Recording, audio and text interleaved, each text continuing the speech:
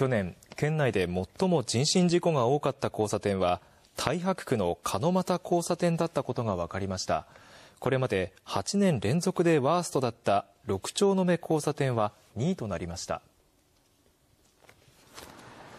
損保各社で作る日本損害保険協会は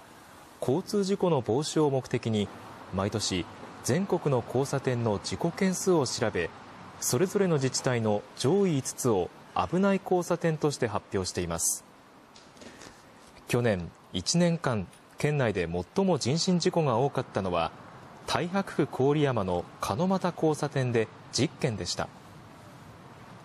こちらが県内で最も事故件数が多い交差点です。交通量が多いことが分かります。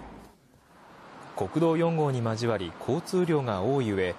アルファベットの X の形に交差していることなどから右折する車と直進してくる車の衝突事故が最も多く5件発生しています。またおととしまで8年連続でワーストだった若林区大和町の六丁目交差点は2位となりました。ただ事故件数は減っておらず前の年と同じ9件です。片側実車線の大型交差点で車が左折するときに安全確認が不十分になり横断歩道を渡る自転車と衝突するケースがあったということです。